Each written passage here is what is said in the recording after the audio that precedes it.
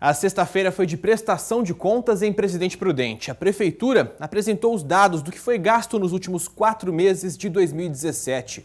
Saúde e educação estiveram no centro da discussão.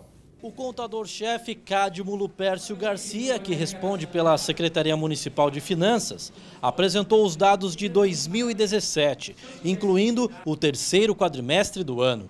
Ele explicou que houve queda na arrecadação, o que fez Prudente ficar com um déficit de 6 milhões de reais, embora o caixa da prefeitura ainda tenha uma reserva de 68 milhões. De todas as despesas, a Secretaria de Educação teve o maior orçamento, com mais de 176 milhões.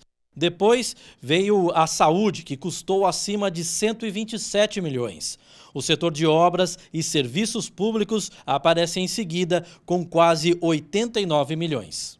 Entre as secretarias com os menores orçamentos estão as administrativas, como é o caso da Secretaria de Comunicação, com 1 milhão e 200 mil reais de gastos, e também a de Relações Institucionais, que custou 346 mil reais em 2017. A audiência pública foi convocada pelo Poder Executivo, como manda a Lei de Responsabilidade Fiscal, mas, pelo visto, as contas públicas despertam pouco interesse da população.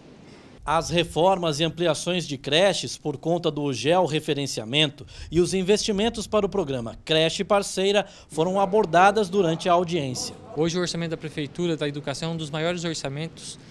Hoje nós estamos investindo em torno de 31 0,58%. Então está previsto tudo que foi solicitado para a Secretaria de Finanças com relação à área da educação está previsto no orçamento. Nós estamos fazendo várias reuniões com, junto com o prefeito, inclusive estou indo para uma reunião agora junto com a Prudem. Então nós estamos fazendo várias reuniões para a gente tentar cortar despesas para a gente estar tá investindo na área da saúde. Outro assunto foi o funcionamento da unidade de pronto atendimento da Zona Norte de Presidente Prudente.